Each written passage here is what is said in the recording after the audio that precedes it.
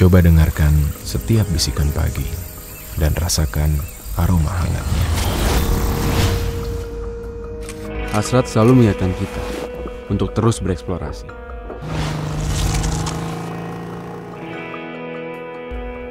Ke mana pun hasrat membawa, ikutilah.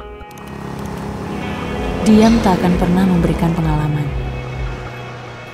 Kita harus menembus batas.